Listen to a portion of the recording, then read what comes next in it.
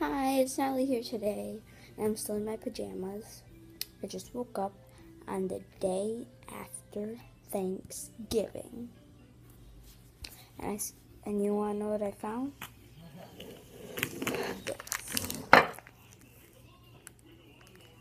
If you're wondering what this is, it's that powder's cookie dough, and it's a pan where you make the cookie dough. It's like a little like medium cookie. And my and his directions and my elf on the shelf brought it. You want to see him? He's here with my reindeer Rudolph.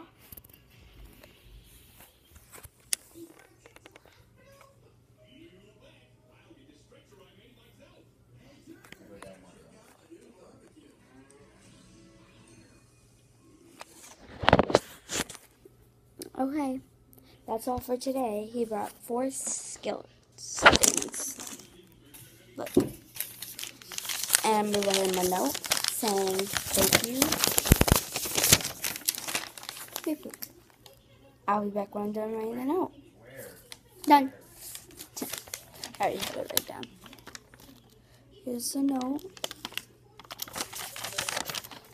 And I'm gonna fold it up.